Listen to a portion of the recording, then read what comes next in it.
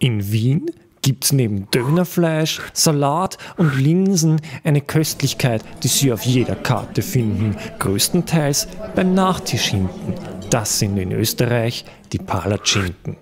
Und wem nach Omelette, Crepe und Eierkuchen gelüstet, der darf weitersuchen. Der Rest erhält mit etwas Glück auf diese Weise eine neue Lieblingsspeise. Und dafür brauchen Sie nichts weiter als Butter, Mehl, Milch, Salz und Eier und dann noch Zimt und Schokolade für die finale Maskerade. Zuallererst aber das Mehl in eine Schüssel, der weiße Staub. Und damit es flüssig wird, schlagen wir die Eier auf.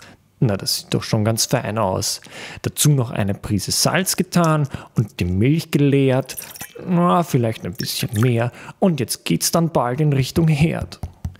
Doch vor der munteren Promenade nehmen wir die Butter und die Schokolade und während wir den Teig vermischen, kann man den Rest derweil erhitzen.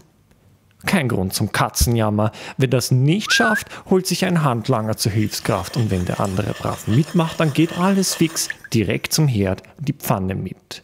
Und dann ein Stück von der Butter, ein richtiger Brocken, sonst wird das zu trocken und dann hilft nur noch hoffen, dafür lege ich meine Hand ins Feuer. Ich meine bildlich gesprochen.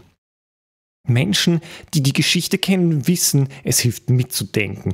Um das Ständchen endlich zu beenden, braucht man Glück, ein gewisses Quäntchen, aber vor allem ein geschicktes Händchen.